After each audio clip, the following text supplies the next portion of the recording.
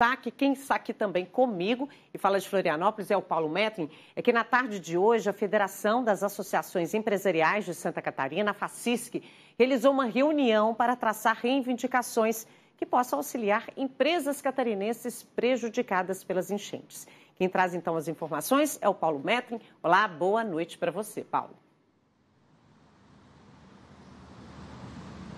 Oi, Tatiana. Essa reunião rendeu um verdadeiro relatório das ações que já estão sendo feitas aqui em Santa Catarina, viu?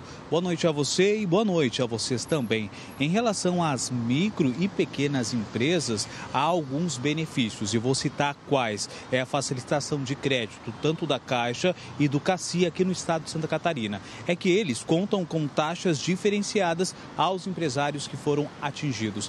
Nesta reunião, houveram ou houve melhor dizendo, outros pontos destacados. E são eles a disponibilização do saque calamidade do FGTS para os moradores de municípios atingidos pelas enchentes. Há também a oferta de linhas de crédito especiais em condições mais favoráveis, isso aos produtores rurais. Uma pausa de 90 dias na cobrança das prestações de financiamentos habitacionais. E o coronel Armando, da Secretaria de Proteção e Defesa Civil aqui do nosso estado, comentou sobre a autorização para que a Defesa Civil adentre o território indígena lá em São José Boatê. O secretário falou também sobre o envio de uma equipe do Ministério da Integração e do Desenvolvimento Regional e, e destacou como a vão ser feitas algumas reuniões técnicas, isso nas próximas semanas, nos próximos meses também aqui no nosso estado, para que os municípios possam elaborar planos de trabalho.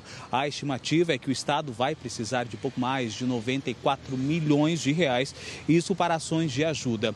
Nesta oportunidade, o secretário, o secretário de Proteção e Defesa Civil, Coronel Armando, comentou sobre a importância de atualizar os mapas de deslizamentos no estado. Isso é claro para facilitar a emissão de alertas e, consequentemente, salvar vidas em boa parte aqui do estado de Santa Catarina. Até porque o próximo mês promete ser chuvoso, isso por conta da intensidade do fenômeno El Niño.